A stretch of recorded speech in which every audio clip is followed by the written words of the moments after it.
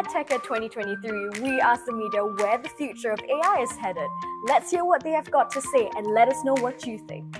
Write more about uh, AI being used for medical research, such as cancer, um, trying to find cures for new diseases, and hopefully curing some of the big problems affecting a lot of the issues in the developing world today.